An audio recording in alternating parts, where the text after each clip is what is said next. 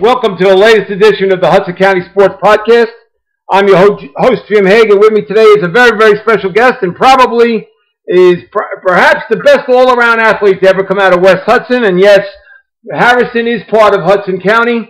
A lot of people might think otherwise, but it truly is. And um, and he was a 2,000 point scorer at Harrison High School in basketball, but more importantly, he made his mark in football, where he went on to play college football at Rutgers. Had a great career uh, with the Scarlet Knights. Then went on to play in the NFL with three teams. First the New England Patriots. Um, then he went on to play with the New York Jets, where he had his most success, and then he ended up with the New uh, with the Miami Dolphins.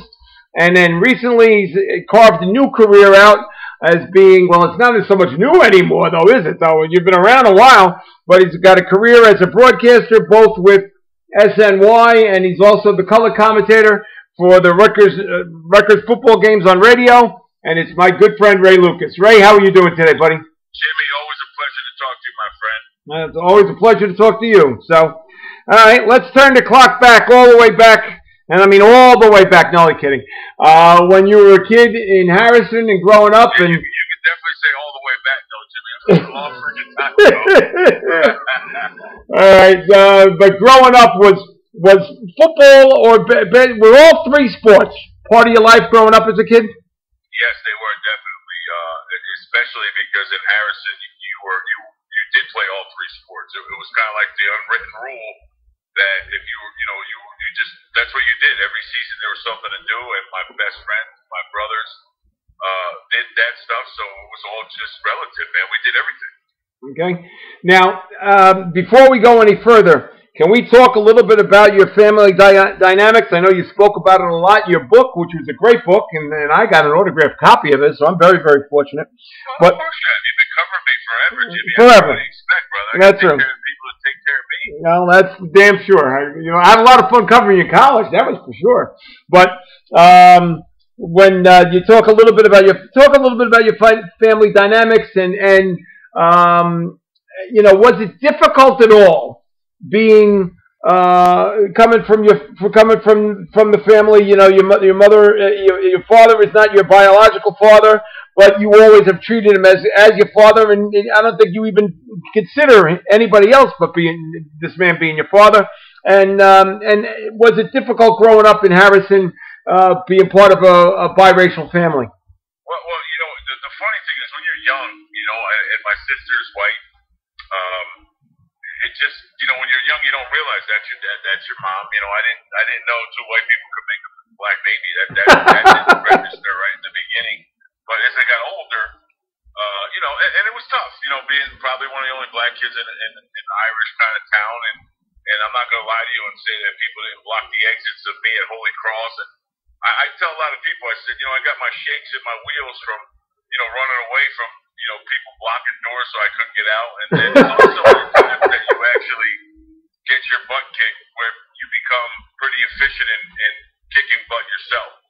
Uh, I never knew my real father, uh, but he raised me since the day I was born. And, you know, I, I am a mama's boy, uh, but, you know, as you got older, I, I asked my father, I said, you know what, Pop, uh, how, how, how'd you do it? You know what I mean? Because I, I told him, I said, if my wife, you know, she's Cuban, if she had a, ba- a blonde hair, baby, blue eyed kid, I'd be gone, so.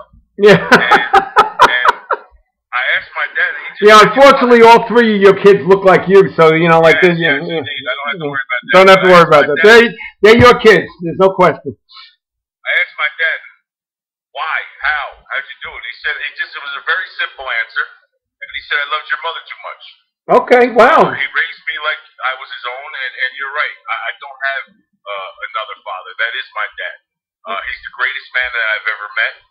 Uh, he, he, you know, all his mannerisms, the way he taught us, the way he raised us, uh, is exactly the way I kind of raised my my kids. And uh, you know, my, like I said, my, my parents, my sister are, you know, my inner circle. I mean, I have my wife, I have my my three beautiful daughters, and uh, you know, everything I learned, I learned from my dad and my mom. And uh, he's just he's just that kind of dude. He's just a great man. He's just a, an absolute great man walking the earth. I and I wholeheartedly agree. I I adore your father. He's one of the nicest people I've ever met in my life, and he's just uh, he's a joy to be around. But was there were there were there pressures at all growing up as a kid, being Absolutely. an African American like, and being like, like yeah. I said, Jimmy, you know, you know when you are the only black kid in, in, in an all basically Irish Italian town, uh, Scottish. yeah, you, you get you get called the words, you get called the N word, you get called it a lot.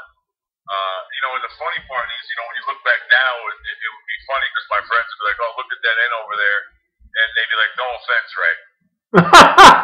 You know mean? And at, the, and at the time, Jimmy, you know, you don't really think you're like, "Oh, okay, like no big deal," but in, in actuality, it was offensive. You know yeah. I mean? When, when you get older and you get a little bit more smarter and you get, you know, you, you see, you know, the other the other places outside of the town of Harrison. I mean, Right. you you, you understand the reasoning and stuff like that. But uh, I wouldn't trade growing up in Harrison for anything in the whole entire world. It, it was a close knit community. Uh, they all, you know, the older people, like all the older high school guys, they looked out for the younger people.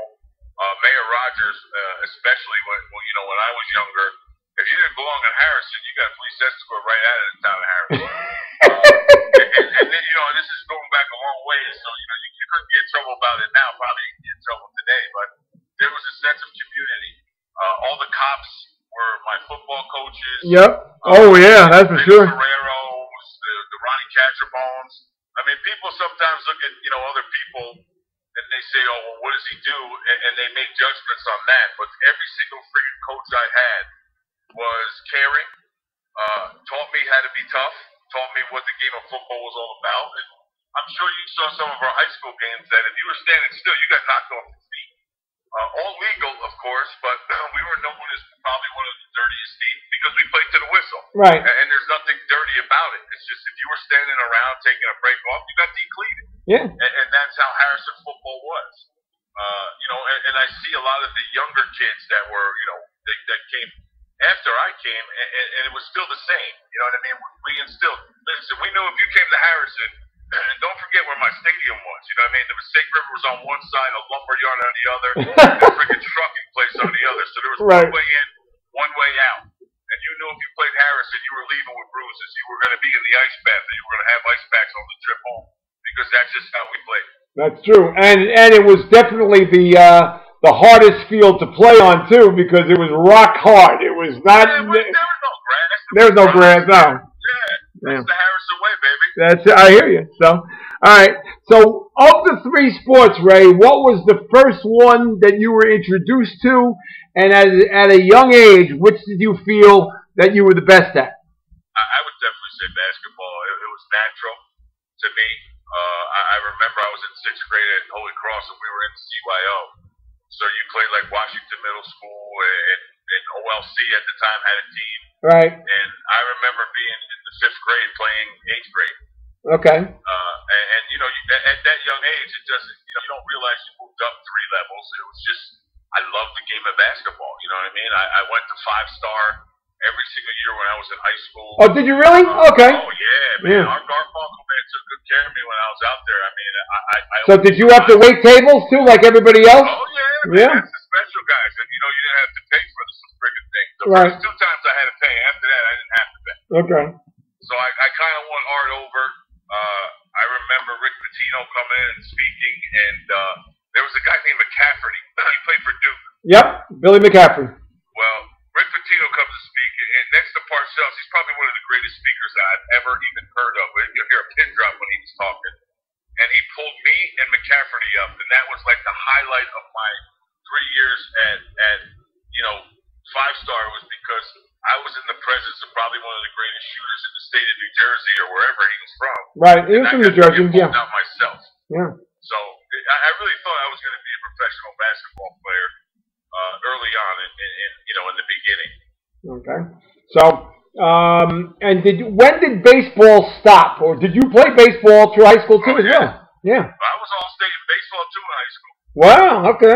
See Yeah, that I gets. was a pitcher, man. I threw high. I threw straight heat. You know, Okay. I was probably in the '90s, but uh, I remember uh, White Sox guy came to scout our our catcher, and uh, he was like, "Man, you got some serious movement on your ball." And he said, "What what are the two pitches you gonna throw?" I said, "Fastball, palm ball, curveball." He goes, "You need a whole other repertoire." I was like, "You know, this is my senior year." I'm like, I ain't missing my arm. "Yeah, first of all, I'm going to Rutgers. Yeah. Forget about baseball. I'm going to play ball in my home state great. You know, we had we had tons, tons like the Jackson Malik and Jamil Jackson were, were two people that kind of committed. Jay Bellamy was another guy. Yep. And then me and Alcides Catanho, who played at Elizabeth, played in both the North and South basketball and football games. Right. And uh, he was like, I can't wait to get to Rutgers. So, you know, Bruce Presley's another one that was like a five star recruit, one of the best running backs in, in, the, in the entire state of New Jersey. I saw that everybody was staying home. And it just clicked for me. And, and to be honest with you, too, I, listen, I was a friggin' mama's boy. I couldn't be that far away from my mom. There you go. But, but at the same time, I, I kind of looked at it. I could have went anywhere in the country for football. Yep. Uh, and I just thought about it for a second. I say, I said to myself, no, why, why make other states great when this is where I come from? You know what I mean? My family can come see me play, even though I was away at school and it was only half hour away. I was away at school, but it was close enough for me when I got homesickness to go see my mom. Right, but you were you were getting recruited big time uh, as a basketball player as well, because that's when I first met you. Is that your first one of your first recruiting trips as a basketball player was to St. Peter's College, and they and you walked into my office when I was the SID at St. Peter's, and they said, "This is Ray Lucas." I said, "I know who he is," you know. So, uh, but you, St. Peter's recruited you heavily. Teddy Fiore wanted you in the worst way. He he really wanted you big time basketball wise. Yeah, I mean, I had Wake Forest. Jerry Wainwright was one of the coaches there, and he was just like, "Please, whatever you need, whatever you want, this is the right place." Uh, John Calipari was in my my home when you know that was all Bobby Hurley Senior's doing. Yep. Because I played for him in AAU. Right. And uh, he said, John Calipari told me that you can play with Camby, you can play with all these guys. You'll start as soon as you walk in. He said, you're making a big mistake. And I said, I, I really don't think I am. You know what I mean? I went to Syracuse for a double visit basketball and football, Virginia double visit basketball and football. It just, you know, it kind of dawned on me. I really thought I was like North Carolina Duke material. Okay. They probably went two schools of basketball. They were like, get the hell out of here. so it kind of sent me a message. Like I, I could have went to any country in the in the whole state of the United States to play Division One football. I just decided it was time to stay home and, and make my state great. All right. Well, talk, go back to your high school days a little bit. And I get lost in the shuffle a little bit. I know you played for Coach Borges at, at Harrison, but. Did you win the state championship your senior year, or was that the year after you left? That was my eighth grade year, and, and it's funny you bring this up because my idol and my best friend now were like, you know, I had the same best friends you know, since I've been in Harrison younger. His name was Mickey Rowe. Okay. And Mickey Rowe was a quarterback. He won a state championship. I'll never forget. You know, this is the type of And he ended up playing football at St. Peter's. Well, no, Muhlenberg. Oh, Muhlenberg? Oh, okay. Yeah, but don't forget, this guy had full rides for Division One programs, and he broke his ankle in the middle of senior season. That's how I got brought up to varsity to play quarterback when my brother got, you know, broke his ankle, and, and it was kind of weird because they rescinded a lot of offers. On Mickey, really? Yeah, they rescinded a lot of offers. And, Wow. and Mick, listen, Mickey's brilliant. I mean, the guy is, know, he's probably, out of all my best friends, he's probably the craziest one out of all of us, but he was also brilliant. Okay. You know what I'm saying? So he went to Muhlenberg. He played ball there for a little while. Uh, you know, he went on to become working as a lawyer for Blank Rome. He was probably one of the youngest partners there. And, Yep. uh, but I remember saying something to Mickey because you know how typical Harrison kids are. I remember we used to have to go watch them practice. So the big, you know, the wise ass that I am, I, I said to him, "Man, you suck." to Mickey, and he said, "You know what? Let me tell you a short story, Luke. Uh, when you're sitting bench varsity as a freshman, then you can come talk to me." Now, Okay. Jim, you know how football is in my hometown. Right. How it was anyway. Oh, it was, right. If you could sit bench varsity as a freshman, not even play, that was an honor. Big time. Big time. And at the time when he said it to me, I was like, man, shut up. That's a terrible comeback. You know what I mean? But at the same time, I said bench varsity. I mean, I played a little bit as my freshman because I could throw the ball 77 yards. But Right. uh, I got what he was saying to me. You know what I mean? And that changed the whole way of me thinking that, you know, you, you, you didn't even, you know, I, I hate to use this analogy, but pee a drop. How dare you say something to somebody that has? You know what I mean? Yep, yeah, that's true. And uh, it was another lesson. I, I call them Harrison lesson, lessons that I learned and then I applied to my craft is that I wasn't going to let anybody outwork me. Okay. No one was going to outwork me. And my goal when I was in eighth grade was to sit bench varsity. I know that sounds like a crappy goal. No, that's that's a that's a huge goal at that point because hardly anybody else did. Yeah, I mean, but but to me, after the fact, I was like, man, I gotta sit bench varsity. Like I know that's shit, shit goal, but I mean, I'm sorry to curse. That's all right. Crap goal, but you know that that was my agenda. Okay. So, um, so what year is that that they won the states? They won the states in '88. 86, Okay, '86. Okay. And 86 or 87, Jim. I'm not, I'm not really sure. yeah, all right. And I, I should I should have looked that up or whatever. Okay, 87. 87. Because All right. I was in eighth grade and we went. I went to school year after that. All right. And he was only a junior when he won the state championship. Okay. So, but was that then? Did you say to yourself, "Wow, we could have a we could have a great run here at Harrison"? It's actually legitimate that we could have that this is something more than than soccer in this town. We could actually win in well, football. Well, here's the thing too. eh, Our soccer teams have always been, you know, really good, but uh, it was a football town. I, I never lost at Pop Warner, not one game. I never lost. We were BCSL champions every single year. So to me, it wasn't like when we get to high school, we got a shot. We already knew we had a shot because we were physical, and a lot of teams don't like physical.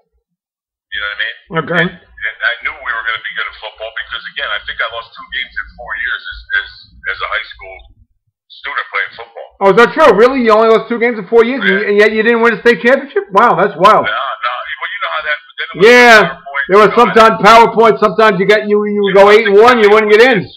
Yeah. Hudson County always gets screwed. Well, especially when you were playing in the PCSL and you were playing all Group One schools, and you were Group Two, you were not getting in. If you lost the game, you were not getting in. You, you, basically had to be undefeated. Yeah, no question, no question. So, all right. So, uh, and then you obviously, so you played for Borges, though. You Borges was your coach. Yeah, of course, Yeah. of course. Okay. And and was uh, Colosimo was your assistant? His assistant, his best friend. Well, I, back then it was it was it was Ralph Borges. It was one of his sons. Richie. It was Larry Manning, who was my quarterback coach and offensive coordinator. Then it was Bill Hartman. Okay. Reggie Howell, Vinny Ferrero. I mean, we our whole staff was stacked. Okay. Alan Dolphine, who was my homeroom teacher, and I, I didn't know this at the time. Uh, you know, when you get to Harrison High, you get one homeroom. That's your homeroom for your entire four years. Okay.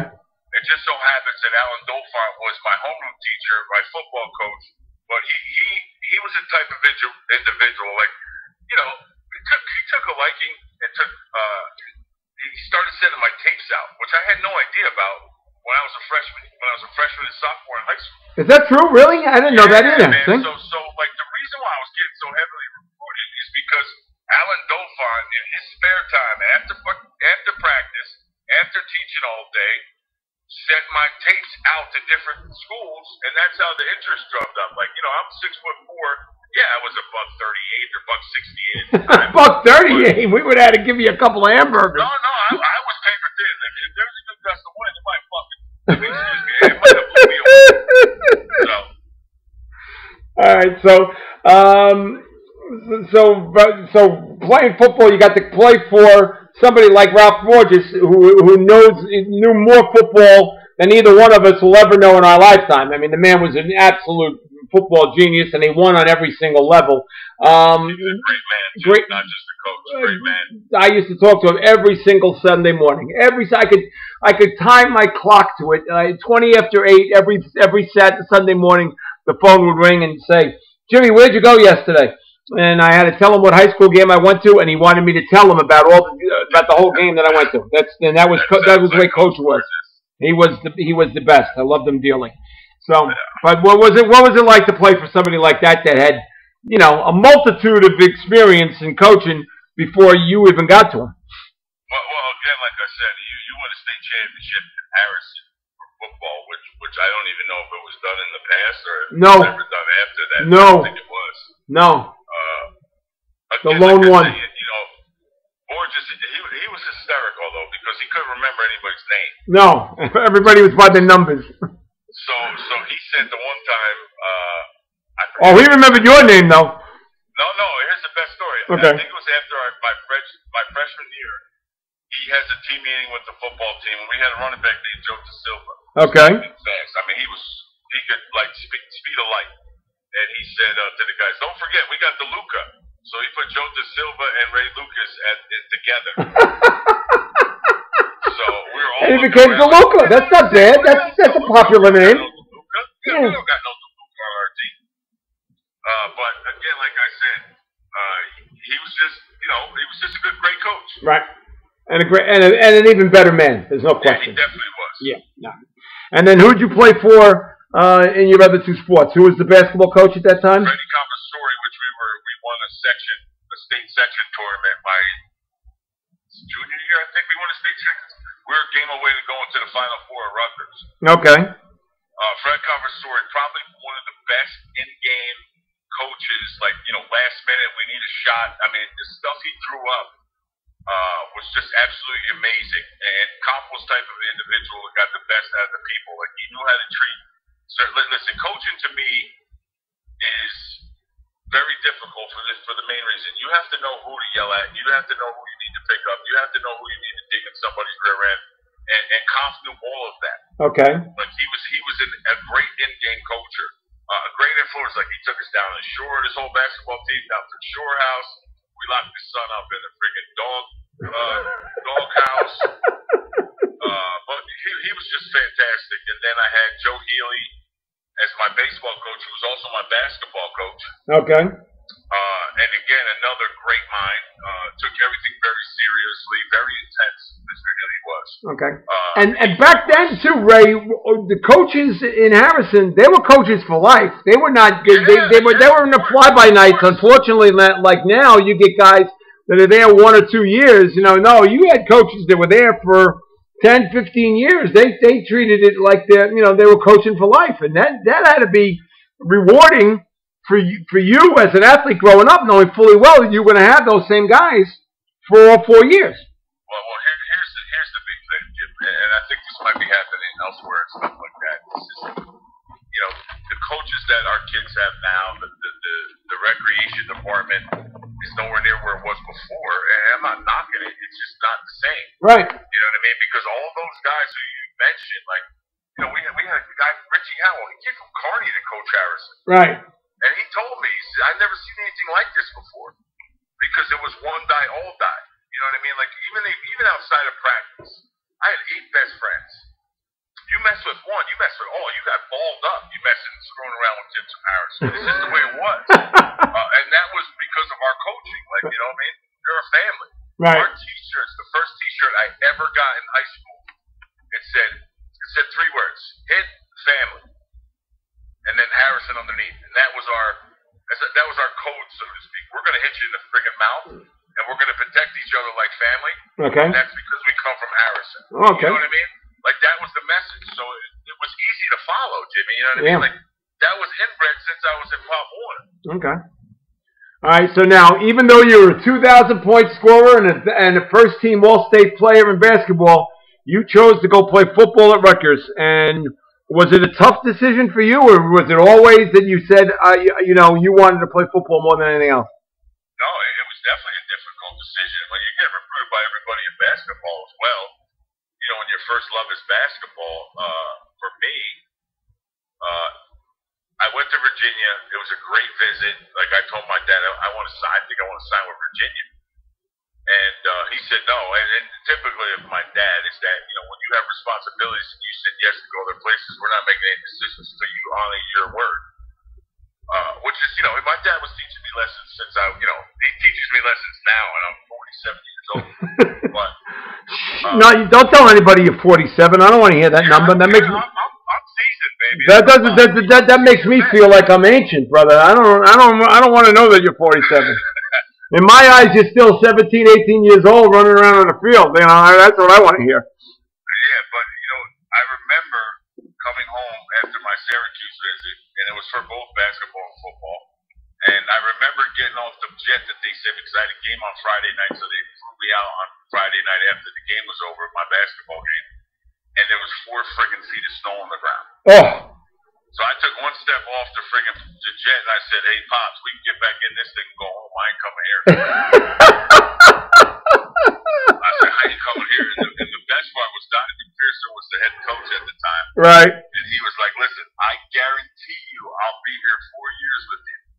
You saw what did Marvin Graves was there at the time. Yeah, that's some You good. saw what we did with him. Imagine what you can do with this offense. Yeah.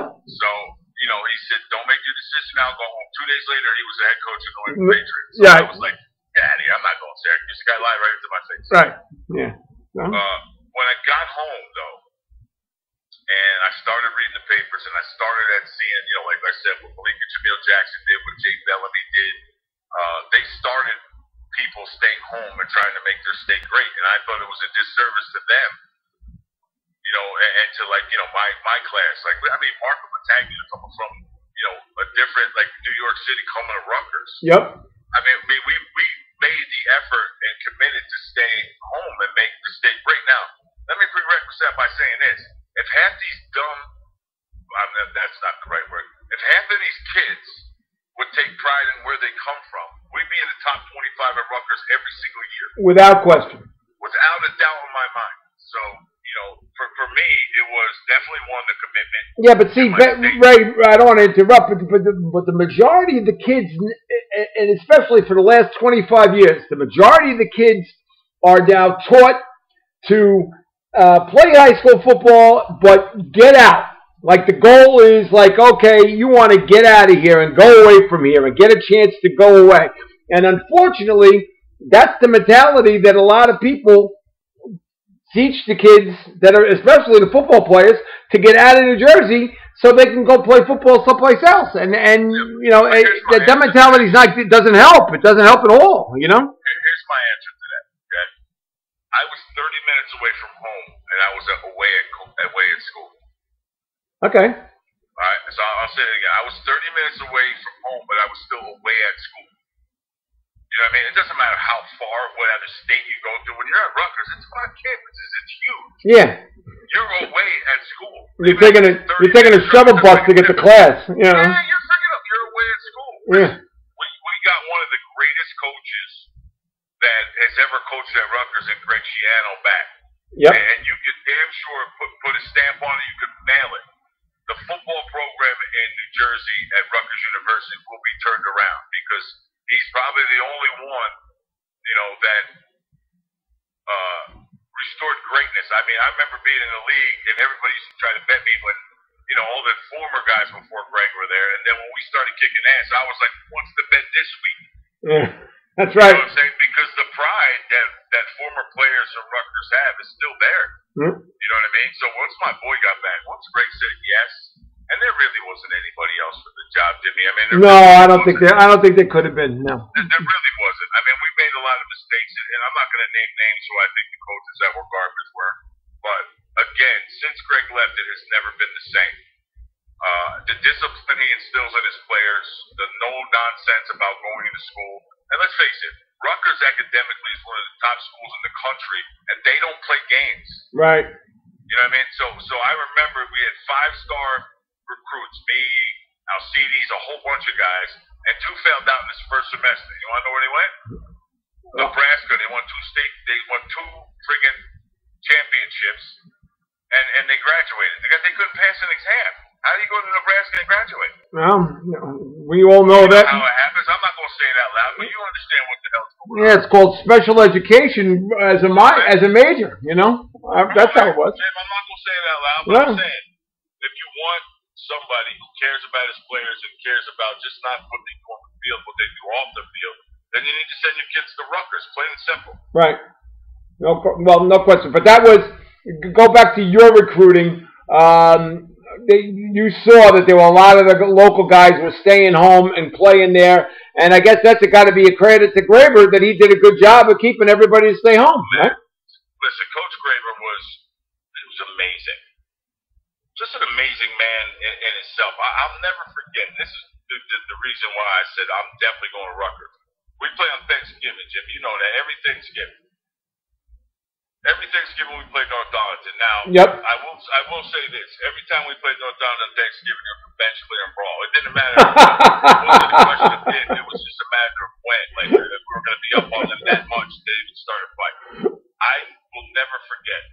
Early Thanksgiving morning, I'm inside the locker room, and my coach, my quarterback coach, Mr. Manning, comes out and he says, "Hey, somebody's out here to see you." And I'm like, "What?"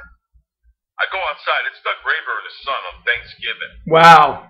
Wow. That's huge. That was huge, Huge. to me. So he went on the process and saying this. You you're our guy. I am fully committed to you now. If you get hurt in any sport, you that is it. Well, I, you, oh, you didn't already commit to go to Rutgers before he was there that day? No, I wasn't. Oh, That's wow. The whole point. Like as soon as I saw him at my game on Thanksgiving, like Thanksgiving's a family day. Like you know what I mean? And Harrison, yeah, Turkey Day is always uh, prerequisite by friggin' you know us kicking NA's rear end in. All right. But the fact that he was there with his son, he brought his son. Wow. I said, man, this guy is the real deal. I- I'm going to Rutgers. Period. Okay. All right. Well, and then you- ended up, and you know, there was nothing better than covering you in college. First of all, because you were definitely outspoken, so you were, from a sports writer standpoint, you were a great quote. And second of all, you you gave me great quotes because you knew me before then. But but so you always pull me over and give me give me great stuff. But more importantly, from a sports writer standpoint, boy oh boy was that team fun to watch. That was an absolute fun team to watch because you know why? You guys went up and down the field. And that offense was unstoppable. Un, and I'm not saying it because I'm talking to you and you were the quarterback. If you look at the Big East standings, we're in the top five every single year I was there. right. Hey, you That's had not easy to beat when you're playing in Miami, Virginia Tech, Boston College, West Virginia.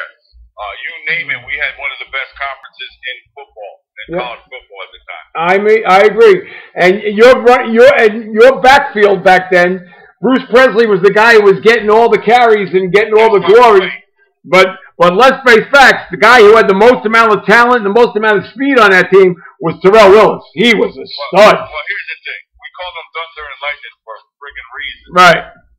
Because Bruce would struck you, run your, I mean, literally, physically, never shied away from contact. None. Uh, never got pu- pushed back. And uh, Terrell Willis, when he came in, I mean, the speed. I mean, I don't even know when he ran the 40. And I- it was like low four threes, maybe four two eight. I don't Yep. know. I mean, you gave him a crease and he was gone, so you were looking at the back of his jersey for the rest of the afternoon. Uh, but Bruce, you know, and, and what do you do in the fourth quarter? You pound people when you're ahead. Yep. And that's when Bruce came into the mix, and he physically harmed people when he ran. Right. And then you had three wide receivers that were really good, like you said. Marco Battaglia was was clearly the best tight end in the in, in the Big East. Um, you- that offense was was solid, top, top to bottom. It was and it was fun to watch. Like I said, Especially when I was younger. We had Chris Brantley. Yep. Played the league for a little while. And again, like, you know, when, when you had me talking about these guys like Jimmy Guarantano, who was Yep. the host when I came on the visit, I mean, we're talking about two of the greatest wide receivers to play at Rutgers. And, and, and CB was just absolutely amazing work ethic.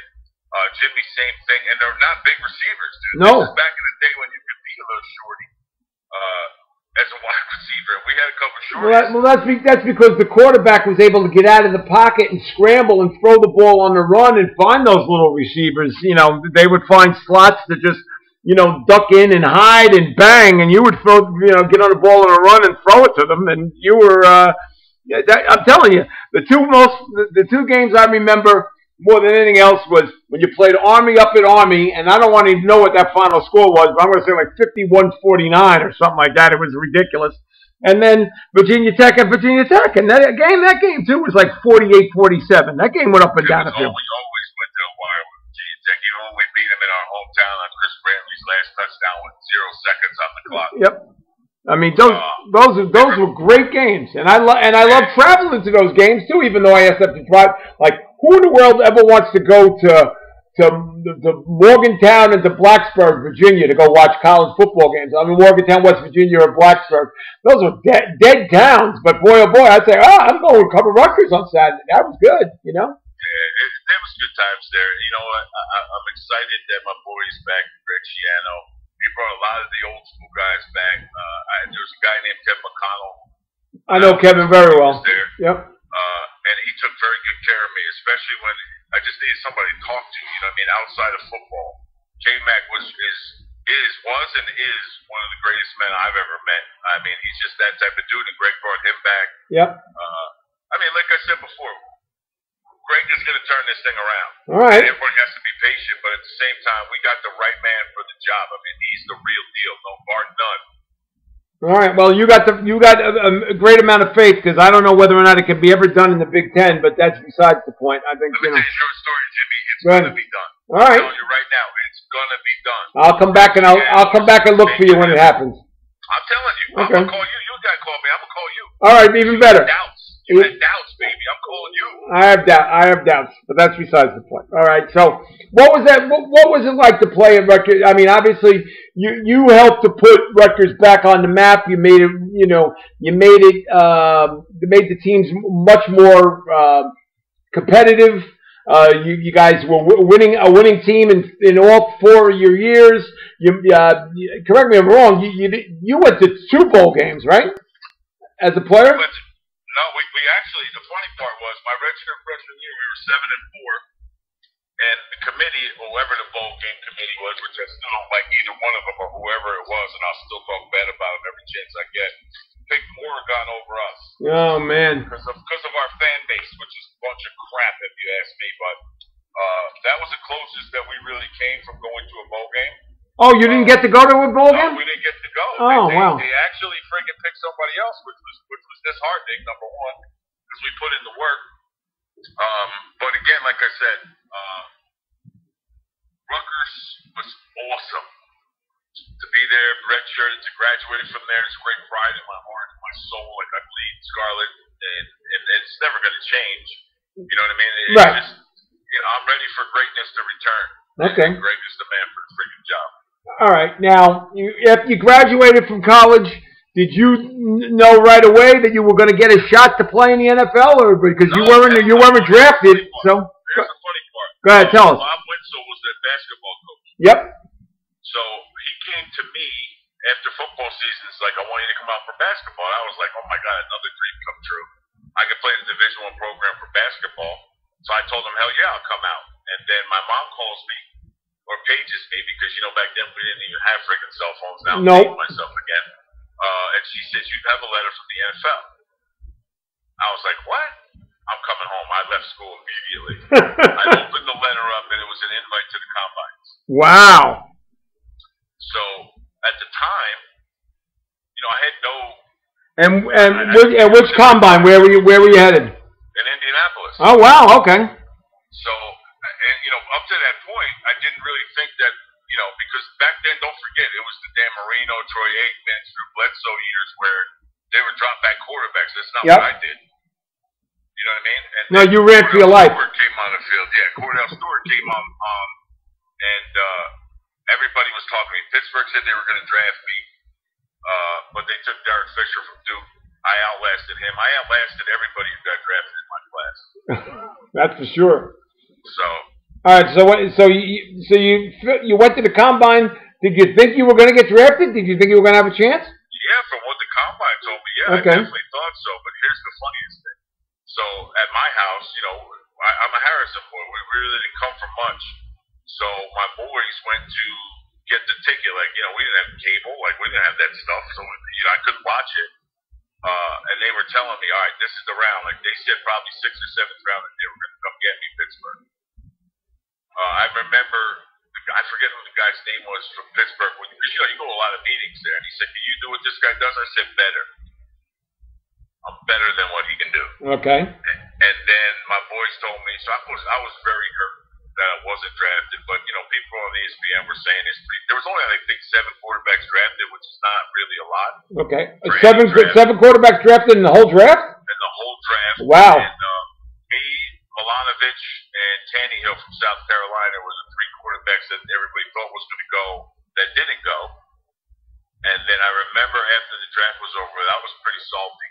And uh, you know, in the Harrison way, now it's about proving every single freaking person that didn't think I could play in the NFL wrong. Okay. So basically, what happened was Jacksonville called me right after the draft was over with my agents at the time and said we wanted to come out for quarterback, and they, they, I think they were going to give me five grand. So my agent calls me up and said, "Do the deal." But this, my agent at the time, which I'm not going to mention his name because it's a long time ago, this dumbass, because they announced my name, Milanovic, and Taneyhill's name on the air, like we're very shocked that they didn't get drafted. Try to hold out for a better deal, so to speak. So Jacksonville signed Tannehill, and I fired my agents that night. And I started making calls on all the people, all the cards I got. Now, first call I made was New England because Parcells was there. He used to practice up at Rutgers Bubble. They didn't have a bubble back then. Right. And he's a Jersey boy, so I called New England myself, and, and I got Mike Pope on the line. I said I need to talk to Bill Parcells, and he was like, "Who is this?" And I'm like, "Ray Lucas." And Mike Pope, being from you know th- this area when he was coaching for the Giants, Right. said, "Hold on." So then Parcells comes on, and, and I can't say what he said on the phone, but it was more or less, "What the f do you want?" Right. And I said, listen, all I need is a shot. Just give me a shot. I'll do anything. I'll play any position. I'll do anything. Let me show you what I bring to the table. So he put me on hold, which was like probably for 10 seconds. and It felt like 10 minutes. He said, all right, kid, I'm you a ticket. And I was like in total shock. So I think I had my phone to my ear even after he hung up because I was in total shock. So I go out for the mini camp. First day, they got me as a wide receiver, which I've never played before. Never played before in your life, right? Yeah. I will say this: I caught every single ball. Okay. I didn't drop any. Uh, route running, probably now that I'm a quarterback, I understood uh, a little bit better as far as you know. There's techniques to route running. Uh, and then the next, so I get on the bus, and that back then in New England, you had to drive to the facility. So I get on the bus, and Charlie Wentz comes to the door. He knocks on the window, and he's like, "Lucas, off the bus." I'm like, "Oh my God, they're cutting me right now. I don't even get to shower. Like, what kind of crap is this?" And he said, "Parcells wants you to ride with him." wow. I definitely needed to change my shorts after that because I was like, "What? What do you mean he wants to talk to me? Like I'm arguing with Charlie Wentz." He's like, "Man, I'm not arguing. Get to the car." So I get in the car Parcells, and I am looking straight out the window. I'm not looking at him. I'm not even breathing. so he says, "Hey kid, we're gonna move you to defensive back tomorrow." And I'm like, "Okay, another position I haven't played since high school." So Belichick, of course, is our D coordinator, Yep. and I might have got eight plays, and Belichick said, "Get the f out of here." I was terrible. I was awful. Same thing. This one, this time I get back further in the bus. Like I, I went back three seats. Romeo Crennel comes to the window, knocks on the window. You off the bus. I'm like, come on, man. This time I know I'm getting cut. I, and in my mind, Jim, I'm getting cut. So before training camp? What? This is before training camp? Yeah, this is the mini camp. Like the Okay, the mini camp, the rookie mini camp. All right. Yeah, so they bring back, you know, first, second year guys that are on the Yeah. bubble. They bring on. So anyway, I get on the bus. I get on the bus. They pull me off the bus. This time I'm looking at him. And he's like, uh, when you're done showering, I want you to come see me. And I'm like, man. All right, so I go downstairs, shower, go upstairs. He said, listen, our quarterback that's coming tomorrow is not going to be here, so we want to see what you can do at quarterback. And a smile on my face. Parcells said, you could probably swallow your ears with that smile you got on your face. So next day I go out, first pass I throw. Now we're not even in helmets. It's a slant route. I throw it 800 miles an hour. It goes right through the kid's hands and break his nose. No, really? Oh, break his God. nose. And I and Parcells looks at me and I'm smiling at him like I told you. I told you. You know what I mean? So I did pretty decent. I threw the ball extremely hard as, as usually, like you know I could. And then I got the last friggin' thing on the bus. Once again, the knock comes. Ray, Parcells wants you to ride with him again. And I'm like, oh my God. So get in the car. He's talking to me a little bit. Like Parcells likes to keep you in suspense. So he, he's giving me a little bit of stuff. He said, after you shower, I want you to come upstairs because now we're leaving. You know what I mean? Like we're going home. And I'm in the shower for an hour. And probably more than an hour. And somebody comes down and says, What are you doing? I have like my my fingertips are all ra- like that raisin type stuff. Like Yeah, yeah, yeah, yeah. So it comes down. He goes, the guy goes, what, what, is, what are you doing? I go, I don't want to go up there. I don't want to hear the news. You know what I mean? Like I, I just. And he's like, get the frig out of the shower, get dressed, and go upstairs. You're gonna miss your flight. So even when he said that, I'm like, damn it, man, damn it. You know what I mean? Like I'm gonna let my whole family down. And, and at that point, it's the Harrison way that I represent Harrison. You know, when I'm out there. That that's always been my my thing. Like it's not just about me or my parents. It's about Harrison. You know Right. what I mean, like one square mile of town, a kid can get out. Like that was a message that was even going through my head at the time. So I go to Parcells' office, and he's like, "What the f are you doing in the shower for so freaking long?" I'm like, I just I didn't want to come up here, coach. I to be honest with you. So it's the first time I ever heard Parcells laugh, probably the last time I ever heard him. uh, he says, listen, kid, uh, we want to keep you if you want to stay. And Jim, I swear to God, I must have said it 150 times, going to keep you, going to stay, want to keep you, going to. And I had my eyes closed, I guess. And he goes, are you all right? And I'm like, what does that mean? What do you mean? What does that mean? What do you mean? I'm not even making sense. and he says, I'm going to give you a contract. You need to have your, your agent. I said, I don't have an agent. I'll sign it right now.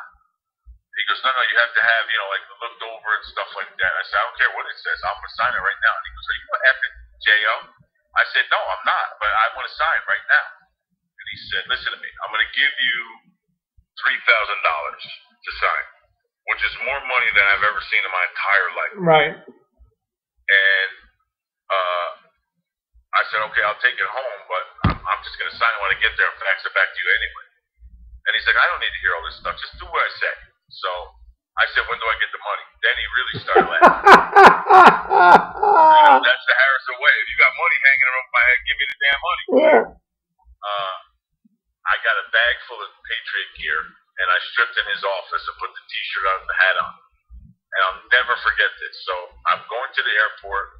I'm walking through, you know, the terminal and stuff, and, and the stewardess says, not the steward, the person that checks your ticket says, "Are you a Patriot? Are you New England Patriot?" And you said, "Yes, I am." Hysterical crying, and I said, "Yes, I am." Yes, I am. So we fly back.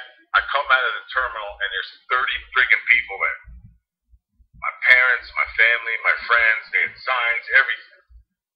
Uh, and that was the beginning Yeah. for me. That that was the start. You know what I mean? And, and I was going to play wide receiver. I wasn't even going to play quarterback. I, I had to say, I'm probably the only kid You were playing special teams. NFL that played special teams and wide receiver for two years before coming. to quarterback. Right. You were playing special teams at first. I remember that Yeah, and I clearly. was playing well. it well because I got to hit you know, Yeah. First time in your life. Hands on somebody. Yeah. You were you were a hungry boy at that time. starving. Yeah. Hungry doesn't even. I was starving to make the team. If they, if they said you got to shine helmets at the practice, I would have did it. Well, he well it paid off because Parcells loved you to death. Uh, you made the you made the Patriots, and then when Parcells after a year you, you and him there, he took the job with the Jets, and I don't think there was any thought process at all. You were going to go with him, weren't you? Well, I, I, I have no idea because you know when Pete Carroll came in, and it's kind of funny. Uh, when Pete Carroll came in, I'm used to Bill Parcells' was training camp where it's three days. There's no light at the end of the tunnel. He said that constantly.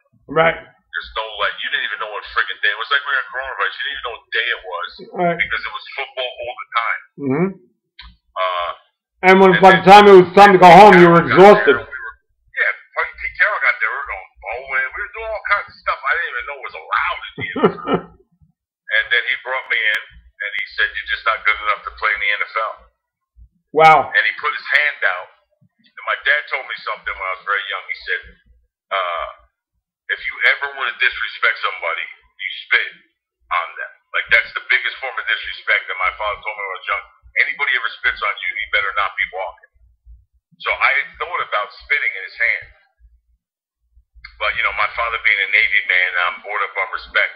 So I never call coaches by their first name. I say, hey, Pete, I'll see you soon. Now, Okay. we just had Raven, me and my wife. Uh, and she was living in Jersey while I was living in New England. And we just got, got married. And she drove up. She had a better job than me in the city. She was making more money than I was in the NFL. And when I got cut, CC was making more money than you, man. yeah, she, Yeah. was, she was working in the city. She was an uh, assistant to an executive in a printing company. Okay. And uh, I remember the next day after I got cut. So I, I was kind of down in my sorrows. I'm not gonna lie to you. Uh, in my apartment, and uh, six o'clock in the morning, the phone rings. So you know how I am. You know how angry I can be. I, Right. mean, I, I was born angry. I think I came out of womb angry. So I said, "Who the f is this?" And he said, "Man, what the f is going on down there?" And I put my hand on the, the, the speaker part of the phone. I'm like, "It's Parcells, it's Parcells." And I said, "Coach, I don't know, man. It's just not. It's just not you. It's just not you." And he said, "I have a ticket in, at Providence Airport." He said, "You miss it, and don't even bother coming." Now I had two hours to get to the airport.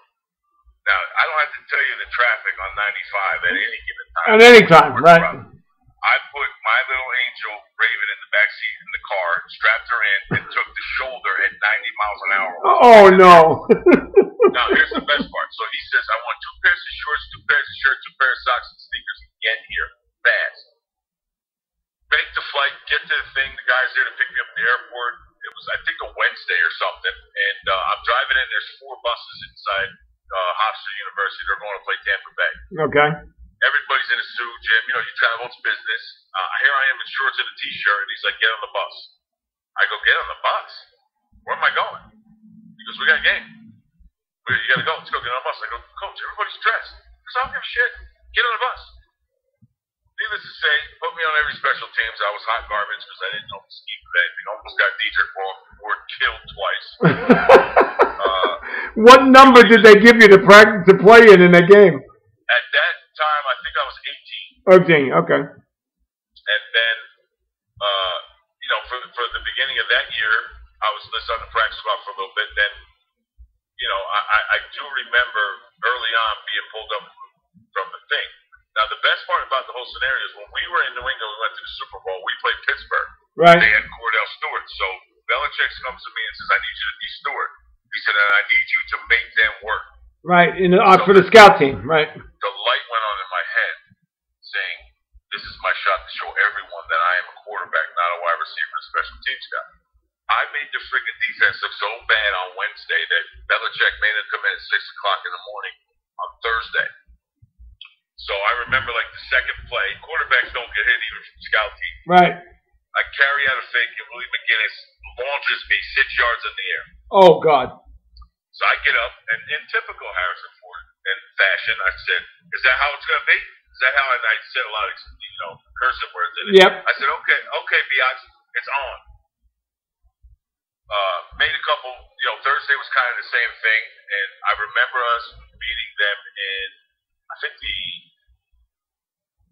no, it was the, the game before the NC championship game, and Kordell Stewart did nothing.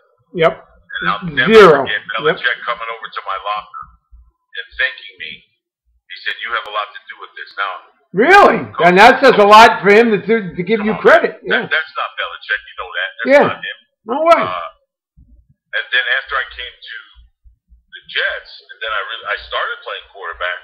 Uh, Parcells brought in nine guys to, for me to compete against. Yep. I just kept kept beating them, down, all. Taking them down. I think Dan Henning, my quarterbacks coach, who was a Boston College coach when I was at Rutgers, yep. had a lot to do with it. Uh, he trusted me. He loved you too. He did. Yeah, he yeah. trusted me, and I trusted him. And the next thing you know, here's the second funniest story that I could ever tell you that has no in it. So now I'm officially a quarterback, right? so when you're a quarterback, which I didn't know, usually when you're not a quarterback, you have two people in your room. You bunk with somebody, right? Right. All right. So I get to my room, I open the door, there's a single bed in there. So I put my bag in the door to keep it open. I call the front desk. And I go, "You got a major mistake on your hands." I said, "I am not sharing one bed with another man." what I didn't know was Vinny was hiding in the doorway, and then I hear him laughing, and I hang up on the lady in the thing, and she he said, "Lou," I go, "What?" I go, "What are you laughing at?" Like I was hot, and he said, "You're a quarterback now, dude. There are no roommates when you're a quarterback." And I said, I like this quarterback. Yeah, I'll take that job. Yeah. He said, you have to concentrate. You have to go over the game plan. You need complete silence. You have to dial in. And Vinny, Vinny Testaverde had a lot to do with me becoming the quarterback that I became because of his work ethic, because of his, you know, studying, because of the long hours. Like he taught me all that stuff. He taught me how to eat. He taught me how to lift. Like we would battle in the weight room me and him, and he was one of the strongest individuals I've ever seen in, on the on the planet. Everybody has always said he's a great teammate. He's unbelievable. He's a great, one of the greatest yep. I, I have ever kind of met as far as players go. And yep. I, you know, I know Q because Quebec, you know, it was Jersey boy. I mean, that goes right. without saying. Foley, yep. one, Jersey boy. You know what I mean? But Testaverde showed me how to be a professional. Because you know me, if I lost, I didn't want to talk to the media. I would tell them scratch. Yeah. He's like, that's not, you're not being professional. You need to be professional. And I was, I was completely blown away. Stand in front of the locker every day. Be accountable. That was the most important. That was what Vinny Testaverde used to always say. Stand in front of the locker and be accountable. That's it. You know? So here we are, right? Fast forward. Vinny is killing it, and he blows his Achilles out. First game. Yep. And I wasn't even dressed. I had a fist fight with Maurice Carthon because I was leaving. I was not going to stand on sideline street clothes. This just wasn't in my. That's not my DNA. Okay. And Vinny came to me and he said, "I need you on the sidelines. You got to be my eyes." And then it was over. As soon as he said that to me, I was like, "For him, I'll do anything." Yeah. Anyway, blows out his Achilles. My first game is against Indianapolis Colts. We lose because I throw a pick because I was great. Mm-hmm. Uh, and then we go Monday night to New England to the guy who said I couldn't play. Couldn't play in the game. Yep.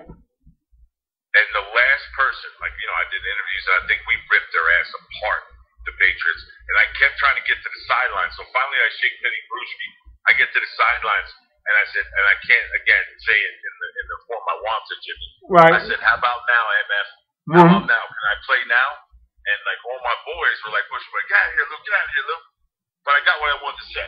Yep. So at the end of the thing, Lesley Visser comes, she interviews interviews me on the sideline. I got to run to the locker room, and I see this this you know like a, a, a how do I say a figure. It was freaking and Parcells never takes uh, hurt individuals on trips. Right. I begged him to have Vinny come out because I needed him there. Yeah. And the last person who waited for me to come off the field was Vinny Testaverde. Oh my God. Really. and he hugged me and I cried and uh it was it was you know what I'm saying like something like that that's that's how Vinny is he's just genuinely a special person in my Yep. heart he always will be I've I, everybody I've ever interviewed, they all say that the best teammate they ever played with was Vinny Testaverde. They say they all everybody says that they he was the best teammate they ever played with. Just he was just a great man special. yeah, just yeah. a great man So, all right. So, anyways, what so what was that like to be? You know, now you're playing for the Jets. You're back home. Um, you know, everybody's. You know, like I, I would imagine you must have been getting besieged with ticket requests. I mean, you know, like what what, what was that like to be now back in uh, back in New Jersey and playing for the Jets? you can't even put it into words because my family my friends my every, everyone everyone came to watch me play I mean there was 30 people at every single game which probably made me broke because I still wasn't making that much money you only get two free tickets so uh at first I was paying for all that I was like this has got to stop I mean you want to come to the game I'll get you tickets but I ain't paying for it. and then don't rate me it's Right. not happening uh it, I, I I don't even know if I can put it into words, Jim. You know what I mean? Like to be literally walking distance from my town to the stadium that my father was a giant season ticket holder, Yep. uh, and see people with the Lucas jerseys on, and, and That was amazing. it, it was absolutely That was amazing fulfilling. To see so many people wearing a number six jersey and and, and it, Yeah, I never, I never want. I, actually, I, I thank you because I did get to pick my own jersey. I was going to pick number one, but I knew if I picked number one, like I'm more college, that Parcells be riding my ass. I figured I'd take the day, the number of my birthday, which is the sixth, August sixth. So I, I wore that one. okay. Uh, but But then, if you picked if you picked one, if you picked one, Parcells would have rode your hiney and, and he be, he would all day, every day. and and the sarcastic, come on one, what's the what you know what are you, are you come on number one, yeah, Say G rated, it would have been something else. Yeah. They would have said, get that number one. Give him a red jersey with no number on it. He would Yeah. something like that. but sarcastic would come on number one. I can hear that. I can hear it right now in his Oh voice. yeah, oh yeah. Just like the just like the way he rode he rode Simms. Every he rode Simms like a pony. second greatest man in my lifetime that I have ever met is Bill Parcells. Mhm. He's right behind my dad. Yep. And there are a lot of people that say bad things about Bill Parcells, and I'm not one of them. He treated Well, they better not say it around me because they're going to get their heads split. Why yeah, well, he he treated me with such incredible respect that I can't, you know. I think he liked the fact that I was big. So he always, you know, like he he goes, he'd always, if I was walking ahead of him, he goes, says, "I'm going to follow Hay because he's going to lead the blocking." And I said, "I'll do, I'll lead, I'll lead the blocking for you, Coach, any day. I'll lead the blocking for you." And he, Yeah, anybody ever says something about him around me, it's going to be a problem. Yeah. All right. So then, uh, towards the end, now you were with the Jets for what? Four years? Yeah. Yeah. All right. And then, how did the Dolphins come into the picture? Well, it's the only time my coach and, and you know the second greatest man in my life ever lied to me because everything he said I could put a stamp on it and send it, and it would have been true. Uh, he said if I played well that year, that I would be taken care of with a contract, and you know it, it was kind of weird because he was very close to my wife and, and my daughter Raven, who was the baby. She's now 25. Like he used to bring her lunch boxes full of candy outside. Okay. Uh, and he promised me that he was going to take care of me after the thing was over with. So after that season, when we become eight and eight, he leaves. He's going to the front office, and we're in contract negotiations. Uh, numbers that, and it wasn't, you know, huge. You know what I'm saying? They weren't huge numbers, but they were huge to me because I've never seen any type of money like that ever. Right. I mean, not even on TV. Like, you know, like for me, it, it was my reward, so to speak. And then I remember my wife was pregnant with her second child, so she, she actually, my wife's tiny. She lost 30 pounds in her pregnancy, so she was on bed rest Wow. in the hospital. And I had Raven at home. And back in the day, remember we had the caller IDs? Yep. Of course. So I- I'm watching the draft, and I see New York Jets pop up. And then I see it pop up again. Both times I don't answer it. I call my agent. I'm like, you better call them and find out what the hell is going on. What are they doing? Call me on draft day. And then I heard it. With the upteam pick in the first round, the Jets select Chad Pennington. Chad Pennington. And I said, Martha, you know what? Yep. And then uh, I took the baby, my, my little angel, I took her to my mother-in-law's house because it was now bar time for me. Uh, my agent called me back and said, Ray, the contract negotiations are over. So basically, they drafted Chad, he got my money, and that was that. Mm-hmm. So I didn't speak to Parcells for months.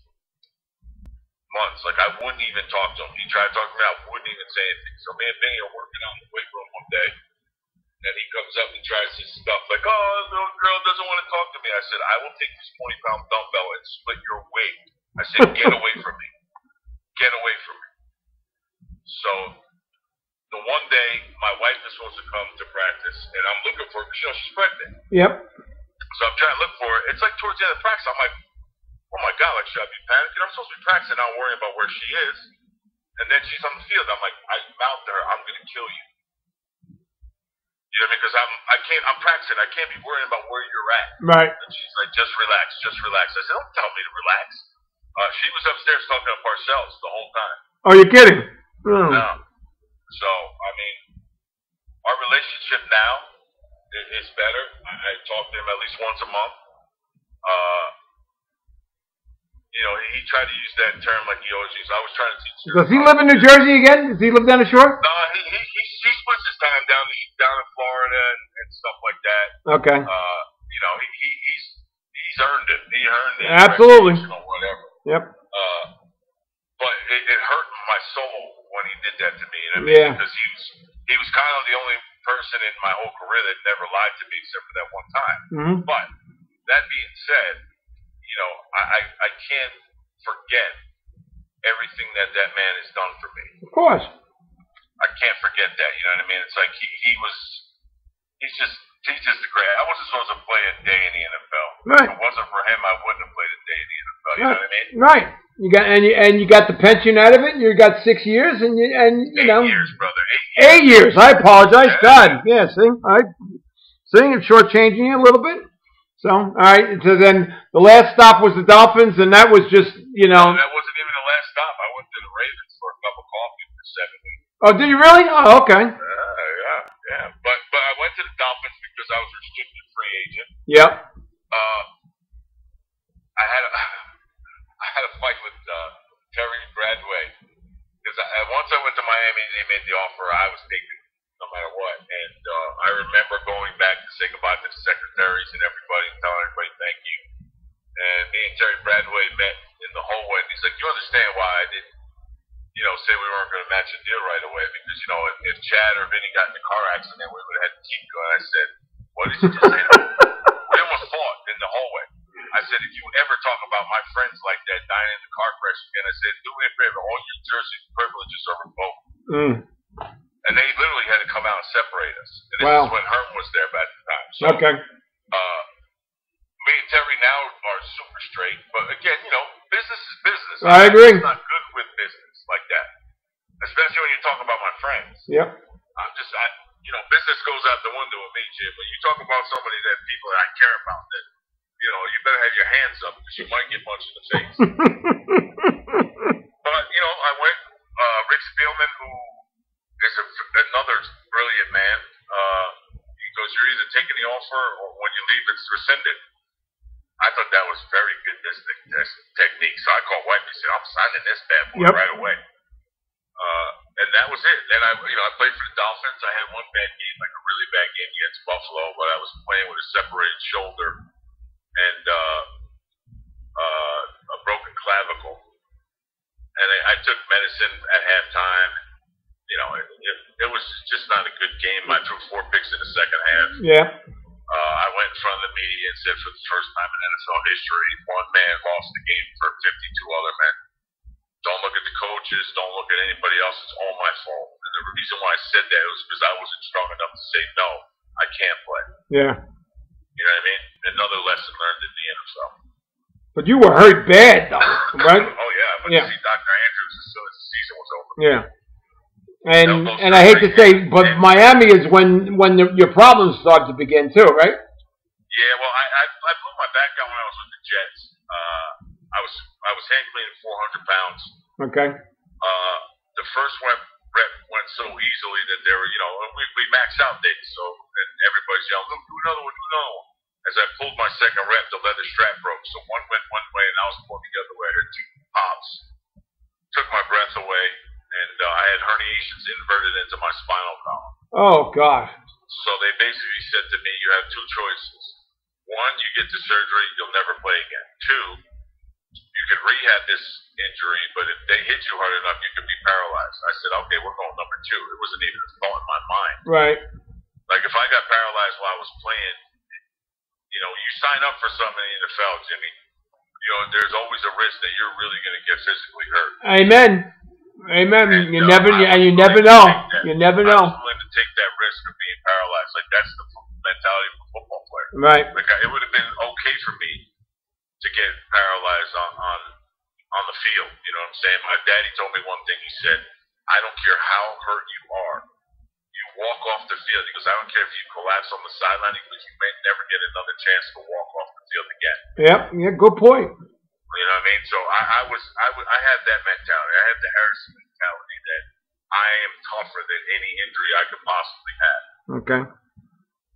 which is kind of stupid afterthought. Now I'm thinking about it, but I I had another incident when I was with the Ravens. Uh, kind of sneezed, lost feeling from the waist down, Really? and uh, yeah, and I said to myself, you know, I You said, God, sneezed? You Sneezed, listen. and you lost feeling from the waist down? Wow. collapsed. I said, God, please do not do this to me. Like I can deal with being paralyzed during a game. I cannot explain a sneeze to everybody. That's how I got paralyzed. I said, I just might as well just kill myself right now. Because that would be more embarrassing. Not the fact that I was playing with a back I should have been playing with. Right. But the fact I sneezed and lost feeling from the waist down. Uh, but I got. And what did the doc what did the doctor say that caused that? Well, it was the same issue. Same issue. You know, Okay. It's the same issue. And uh, I remember going home that night after getting feeling back in my legs, and I said, you know, I have beautiful daughters. Uh, three beautiful daughters. Do I want to roll them down the aisle, or do I want to walk them down the aisle? And that's when I came. I guess my coming to Jesus moment was like, you know what? This is not worth me not being around for my kids or not being fully functional, and that's when I decided to retire. Okay. Well.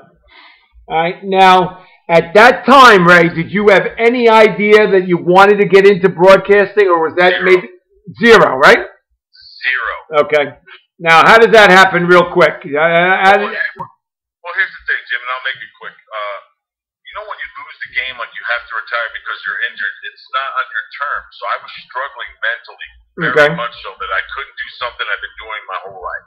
That was that was that was my whole world. You know what I'm saying? Like that was my job, but it was something I loved to do. And I was struggling at home. I'm not gonna lie to you. I started getting depressed. Uh, it, it was a bad time for me. And then I remember ESPN called me and said, "Hey, we want you to come on cold pizza." okay. I didn't even care about the money. I didn't even ask. I didn't care. I thought if I could talk about football, maybe this will get me out of my funk. And I remember the first time I did, uh, you know, ESPN's Cold Pizza. It was me and Howard Cross, Goose. I call him Goose, like he's like from Top Gun. I call him Goose. Right. Okay. Uh, he, when I started talking about football, Jim, I was better. I was still part of the game. Okay. I was still talking about the game I love. I had knowledge, being that I'm a quarterback, that nobody else has the knowledge of knowing or seeing what I see when I watch a game. And it saved my life, to be honest with you. Wow. Okay. Did and you? then once I started doing doing it, like you know, Pernetti was at CSTV at the time, and then I started calling games. But you know, like anything else, you got to pay your dues. I remember flying four hours and then driving three hours with my bad back. I said, "Forget this. I can't do this. I, I physically can't do it." Yeah. Uh, and then SNY started their network, and they called me, and I said, "You know what? Love it."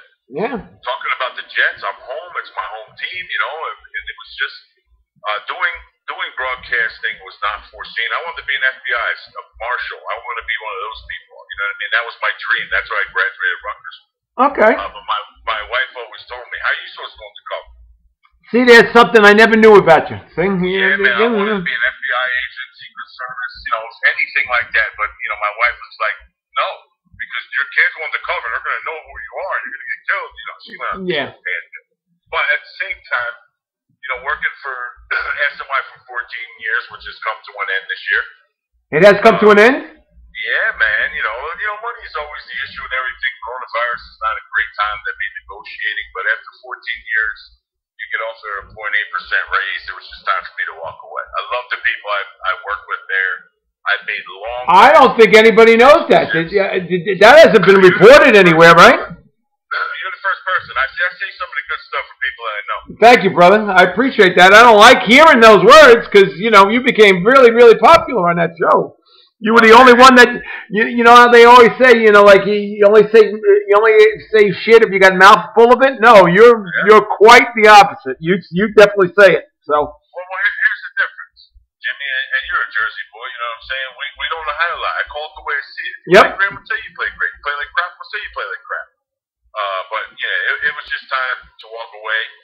Uh, yeah, on good terms. Was I disappointed? Yeah, of course I was. And Yep. me being there when the thing started 14 years ago, and then you know, and, and I get it, dude. I, I do understand coronavirus. I mean, I'm executive director of the housing in my hometown, so right, I, I do know a lot of people don't have jobs. I, I get all that stuff. But I, you know, I'm a guy that's big on loyalty.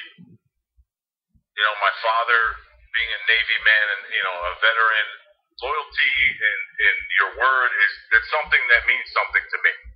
And that was, you know, my dad's instilled that in me. You know, you you have to have loyalty or you have nothing. right. Good And- point. And I, I didn't feel the loyalty, and I didn't feel the offer that I was made was respectful in any way, shape, or form. I thought actually thought it was disrespectful. Okay. Right, but, but again, like I said, I, I, I don't look at this as a loss, Jimmy. You know what I'm saying? Like I, I got 14 years to work with some of the greatest people that I've ever met, and and, and I respect.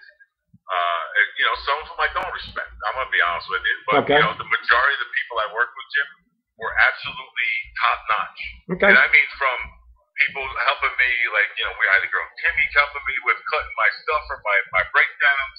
I've worked with Bart Scott, awesome dude. I've worked Carlin, another awesome oh. dude. Eric Coleman, awesome dude. Yep. Brian Custer, who shaped my my my broadcasting career because he took such an interest in me and wanted me to be great.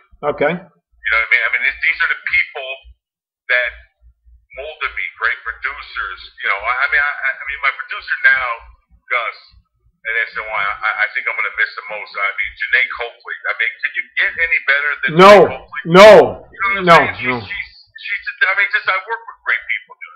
I Right. don't regret my time at SNY. It actually made me a better person. So it's just, I'm just disappointed that I couldn't get 15. You know what I mean? I Yeah. that was going to be the, be the thing. But Well, I think everybody's is disappointed life, about that, right? Everybody's disappointed about that because you were you were the the one beaming light that uh, that everybody wanted to turn on and listen to because you were not afraid to speak your mind. And uh, Well, and you, you will be the first one, Jimmy, to tell it to the world because nobody knows. yeah, all right. Well, that's uh, that's a shame, but you know who knows if there's going to be a football season anyway. So you know, and that Well, that's like the sad thing. They'd be dumb if they don't push it to the spring. I mean, I agree. Else happens, I- that's where I think we're going. Too, Jimmy. Yep. You're talking about a four billion dollar a year business. Yep. You talk about the NFL. You're talking about fifteen billion dollars. Yep. You know what I mean? That's teacher salaries. That's you know other programs, sports programs in your university. So I do understand what they're trying to press, but we have to err on the side of, of life means more than, than the game. Yeah, I agree. I agree, and I think that's the way we're going to go. I I said to a lot of people that there's certainly the sport of football cannot be played on any level, high school, college, football, uh, uh, college. Smash somebody and sweat goes in your eye. Yep, and And spit. I don't want to say this and sound like a jerk, but you know how many times I spit it on somebody on the bottom of a pile? Me too. Me. Me too. happens. I know. I want, I once had a guy try to take his eye. He had his finger in in between the cage and was trying to gouge out my eye. And I said, "You got to stop doing that right now, or I'm going to kill you." You know, like I, yeah. that, that's funny because we had that every single time we played North Island. So Yes. that, that so, but but that idea alone, I I firmly believe that we're not going to play football on any level, high school, college, pro, at all in the fall. Until we get a vaccine, I don't see it happening. Well, here's my thing. I'm executive director, right? Yep. Of my housing in my hometown. Yep. Right. I don't sleep at night because I worry about my staff. I, I have people who have the coronavirus in my apartments that you know my guys have to go in, of course, hazmat and suit up. But why put people at risk? I mean, this thing's killing people. Yep, absolutely. It's killing people. You know what I mean? It's not something that we need to play with right now until we have some semblance of normalcy. Right. I mean, and, and that's how I feel about it. I mean, I, I worry about my staff. I worry about my tenants. You know what I mean? Like this is this is a serious thing. Like I got stomach problems for the last two months, three months because of this stuff. Right. It's just you know the stress of making sure that my my staff goes home and they're safe when they go home. You know, they all have families, Jimmy, and, and now I know exactly what Parcells felt like. Yep. You know, because he did give a shit about every single person that played for him, and he did care about their families, and he did care about. I never forget it. The first time he saw me, I had my two earrings in. He's like, "What is that crap?"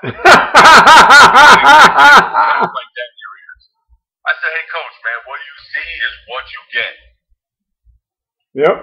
He's, So- he once said that to somebody because he says, "Until your name is Lawrence Taylor, don't come walking at me with jewelry in your head." I remember unless, unless your Oh my name is Lawrence Taylor. Yeah. He could. Yeah, but like I said, listen, Dan Hennings of the world, Charlie Weisches, Bill Parcells. I mean, I, I got I got friends like Zach Thomas is still a good friend of mine. Uh, Richie Anderson, Corbett. I mean, I, I have people that I love that, Yep. that I played with. You know what I mean? That that relationship is uh, like Richie Anderson. I mean, how about a guy that takes you in because you know I'm not making that much money, and so I don't have to pay rent. I get to move into his apartment. Not bad. You know what I mean? And Richie Anderson played at Penn State, so you know I had reservations about that. Yeah, right away you had to worry about that. Yeah. Yeah, I had to worry because they beat our ass every Every year. When I was at Rutgers. Every year. Like Paterno and none of them. Every year. That was horrible. And then, and it's, from my standpoint as a sports writer, having to drive, leave the house at 6, 6.30 in the morning to make that drive out to Happy Valley to see you guys get beat. No, that was not fun. That was not fun. Well, how about you know when you had six draft picks in the first round? How about freaking playing a team like that? Yeah. Horrible. So, all right. So anyway, uh, but you know, you will return as the radio voice at Rutgers because that's your pride and joy, and you're not doing that to get rich. You're doing that because you just love Rutgers football, and you do it. Well, obviously, I haven't Right. gotten a raise there in like six years. Sake. I got to worry about paying Fooch. Oh, well, I mean, that's where all the money goes. Well, that's exactly. You know what I mean? But, but Fucciarelli is the one that you know. Yeah, he's the one. That's, he's, Carlin's got to take a nice little piece of that. yeah, yeah. But now he's, but now Carlin's making the big bucks, so you don't have to worry about that anymore. You know, he Well, he played he played the game well. He played the game well. He played. two kids in college. Yeah, he he he, played the game well. He got rid of he got rid of FAN and he went right to ESPN and now he's making the big bucks. Listen, let, let me tell you a short story. Chris Carlin is uh, probably one of the best broadcasters I've ever been with. I, I still have problems thinking in my head how this dude is not on CBS. Yeah, I mean, he's that good, Jimmy. He's that good. And don't think I don't watch college football because I do. And I can tell you this: they can't hold a candle to my boy. Agreed. Not even a friggin' candle. Ag- ag- Chris Carlin. I I agree. I agree. Yeah, he does. You know what's gonna happen? I'm gonna win the lottery one day. I'm gonna buy something. I'm just gonna put all the people I like in, in business. That's it. You know what? That would not be a bad deal. Because you know what? You got a lot of people. You got a lot of people that like you, and you get and you, and you got a lot of people that that, that you like. So that's you know. yeah, Bruce you know Beck, you, Bruce Beck, Oh. Carlin, you're all coming. All right, I'm in. I'm, I don't even. I don't even need a contract, Ray. I would just. I'll just. I'll just walk right along. Whatever you say, I'm all for. So. All right, all right Anyway, before we before we say goodbye, uh, let's let's let's talk about the most important things in your life, and that obviously, eh, eh, other than your mother and your father. But uh, let's talk a little bit about Cece, who Cece is the reason why this happens today. Ceci, Ceci. Oh, it's Ceci, Yeah, she's Cecilia. We just we shortened it up to, to Ceci. and I've been calling her Cece for God knows how long. she don't she don't care. Parcells has been calling Cece since he's known her. So I mean, you, you just can't like I'm like Coach. How many friggin' times I gotta tell you? Ceci. Right. Well, I apologize. I will now. All right. Well, please, I will now have to tell her that I've been selling it, saying her name wrong for the longest. I don't know for how 25 years. All right, but she's the reason why this this took place because she I could every time I'd see her on Facebook and I'd say now, Ceci, remind Raymond if he when he's ready to do my podcast. She goes, okay, no problem. Well, boom, yesterday she says. All right, he's ready to do it when you're ready. I said, I'm ready. Whenever he says, I'm ready to do it. So, and then uh, and then your three beautiful daughters, and and give and it made me feel about 107 that uh, that Raven's now 25 because I remember her Yeah, playing. man.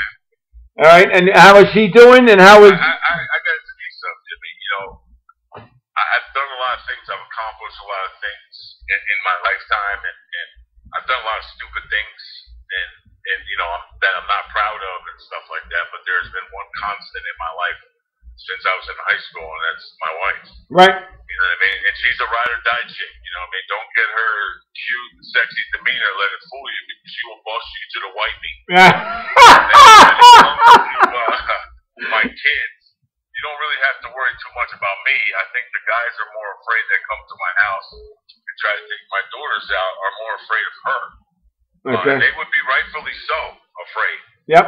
Uh, but again, like I said, she, she's uh, she's given me three beautiful girls at my worst.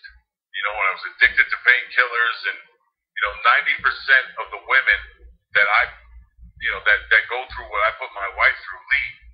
And this is a fact. This is not me just making up some numbers. And she stuck by my side. She stayed by my side. And, Okay. you know what I mean? My my babies are a testament to the way we do things. You know, we were all raised when we all have our own little problems on the side, but we all, we always said that we're going to take the best that our parents gave us and leave the worst behind. And I had three beautiful girls who think, I think they all walk on water.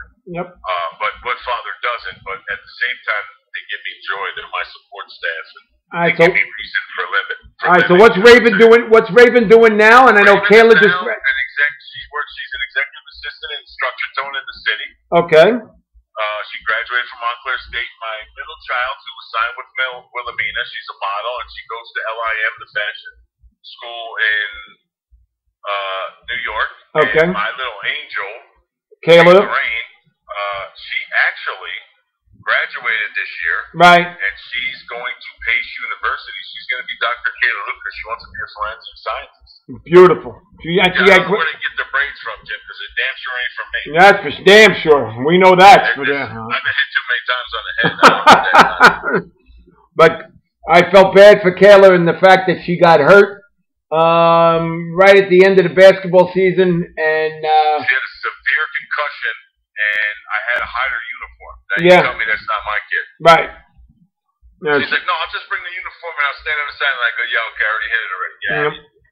And all she said was, "I can't wait to get back so I can play softball." And then, of course, we as we all know, the softball season, the all, softball season didn't happen. Couldn't walk during graduation. Er, I I mean, you know what? I don't. I don't really think people realize the effect. You know, you, they call it a, uh, an elderly disease, this coronavirus, and it's nothing. That's not true at all. Not at all. No.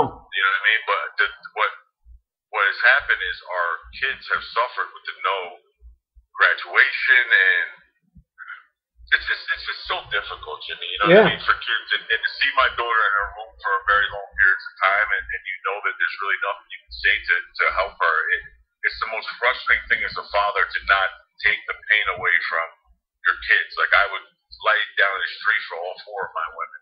Yep. But when you can't do anything, it's so frustrating. I hear you. All right. So the one last thing, and we're going to talk about your loyalty to Harrison. that when you first started playing pro football, you lived in Jackson, down in down in South Jersey, and then all of a sudden you made the decision, and you said to Ceci, uh, "I want to go home, and I want to raise my daughters uh, in the same town that I grew up." And how important was that for you to make that move? And in retrospect, now you, your three daughters have all graduated from Harrison High, like just like you. And well, here's the funny thing, and again, like I said, when I talk, I'm not trying to disrespect Jackson or anything like that. No, it's, it's more of it's a different upbringing. I'll just say it that way. It's a different upbringing. You got to drive everywhere to have a play date and stuff, and it's very, it's very not Harrison. Right. uh, I, I didn't want my kids, and, and again, like I said, I, I, I want this to come out right, but it probably won't anyway, so I'm just going to say it. I didn't want my kids to be soft. Okay. Uh, the Harris. Yeah, but they didn't have a choice to be soft. They're Ray Lucas's kids. Yeah, but you know what? Sometimes you just listen. You always want better for your kids, right? Right. You always want to take them at it. But for me, more or less, uh, I learned how to be a man when I was living in Harrison. You know, I mean, I had the coaches that made me as tough as I am. That the guy that's in a different colored jersey is your enemy, and that you want to destroy him at all costs. Uh, for me, I just thought my kids coming home seeing how things are here, and I'm not saying we have a bunch of Muslim kids that live here, but we got tough kids. Right. And sometimes you got to put your hands up. You know what I'm saying? And, and for me, uh, even though Raven didn't talk to me for two months after we moved back, uh, I don't think she. If you asked her, I don't think she would have regret anything. No. My my kids are are, are well rounded here. Uh, they can walk anywhere they want to go. You know what I mean? The, the police our chief here, Strumolo, uh, is an amazing man. Uh, community policing, anything I needed down the gardens in the Kings of Court, he does for me. Uh, it's just different way of coming up. You know, what I mean, it's a, it's a little bit harder.